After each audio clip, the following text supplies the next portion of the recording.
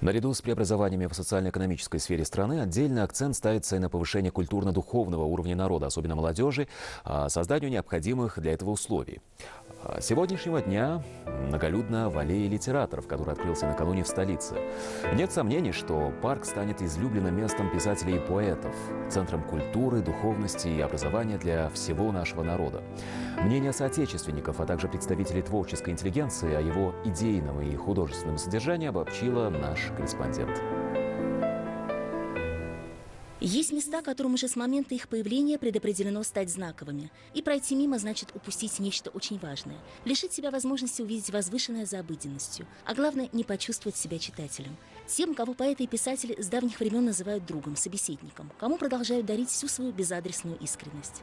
Для них же самая высокая награда – остаться в человеческих сердцах. Здесь те, кого мы бесконечно чтим за глубину мысли, богатство образов и филигранность слога. Ташкент литературный ликует. Это свидетельство отношения нашей страны к своим героям, писатели, поэты или э, деятели литературного труда. Это, это совесть нации. Их произведение – квинтэссенция того, что они видят э, Э, людях, того, что происходит в государстве, то, что, того, что происходит с людьми, с их душами. Ничего подобного, по-моему, нет ни в одном государстве. Такая аллея, где собрана совесть нации.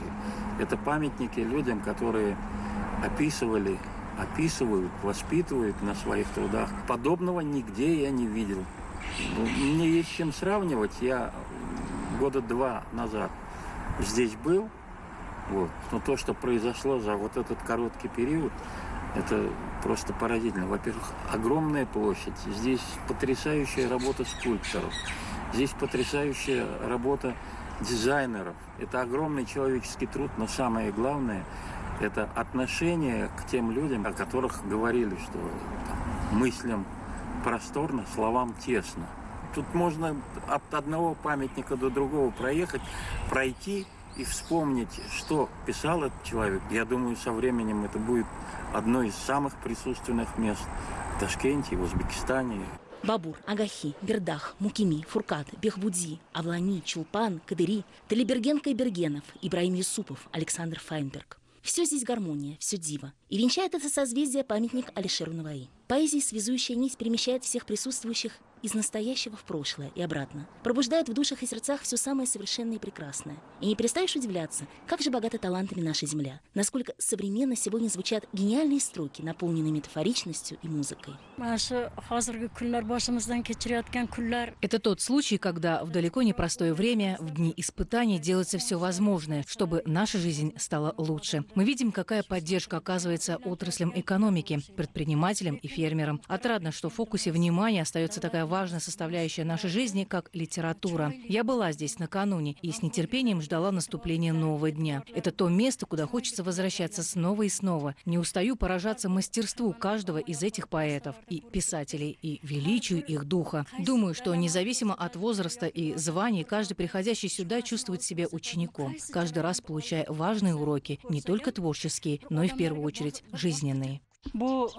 shunday bir xiyobon shunday shunday bir muhtasham bir xazinaga aylanibdiki buni ta'riflash uchun so'z ojiz Трудно передать словами всю красоту этого места. Оно само служит источником вдохновения. Каждый памятник – это произведение искусства. Для гостей нашего города впечатление о нем будет неполным без этого парка и прекрасной аллеи литераторов. Это не просто место для прогулок, а священное место, уникальный исторический и культурный объект.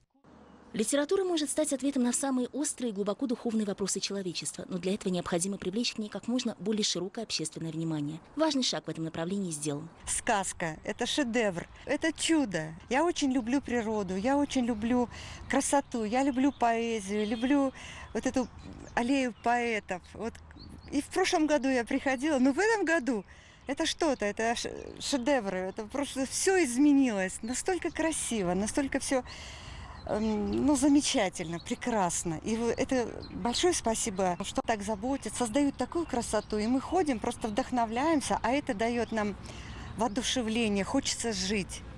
Хочется радоваться, сделать как паломничество вот это место, чтобы мы как паломники сюда приходили. Сегодня на аллее литераторов царят тишина и торжественная красота. Но в скором времени, вдохновленные высоким примером, в диалог с маститыми авторами вступит те, кто только делает первые шаги на литературном поприще. Впереди духовно-просветительские встречи, марафоны и поэтические состязания, множество мероприятий различного формата, способствующих развитию национальной литературы. А значит, не за горами новые творческие школы и художественные открытия. Ведь культура – живая эстафета духа, знания и таланта.